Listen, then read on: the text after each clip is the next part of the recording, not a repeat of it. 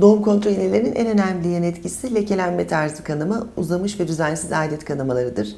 Doğum kontrol iğnesi kullanan kadınların %50'sinde amenore dediğimiz adetlerin hiç görülmemesi gerçekleşebilir. Bu yöntem bırakıldıktan sonra adetler geri döner.